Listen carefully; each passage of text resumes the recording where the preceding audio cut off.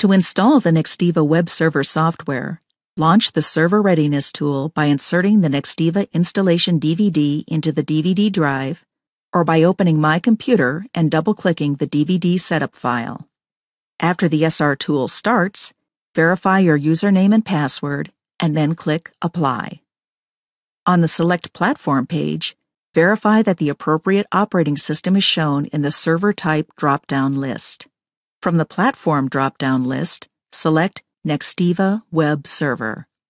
Verify that the Install Upgrade option is selected. Click Next. Review the Nextiva VMS User License Agreement, and then select I accept. Click Next.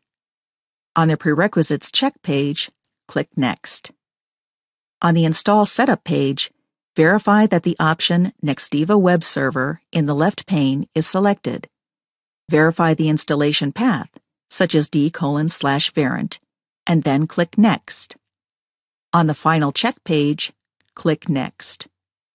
Review the Ready to Install page and then click Install. The software installation starts and the server reboots. When the Install Shield wizard for Nextiva web server opens, click Next on the Welcome page. Read the license agreement and select I accept the terms of the license agreement. Click Next. On the Nextiva web server configuration page, verify the options IIS Web Server and Web Review Application Server are selected.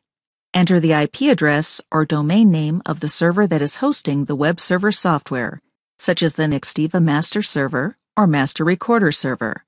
By default, the port used by the Nextiva web service is 7005. Click Next.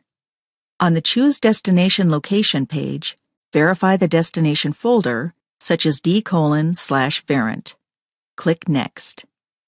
On the Ready to Install the Program page, click Install. The Nextiva web server then installs and configures the new software. On the Install Shield Wizard Complete page, click Finish. In the SR tool, the remaining software installation completes. At the successful completion message, click OK. On the Platform Progress page, click Done. On the Select Platform page, to close the SR tool, click File, Exit. After the Nextiva web server software is successfully installed, users can gain access to either Nextiva Web Review or the Review Smart Client through the Internet Explorer browser.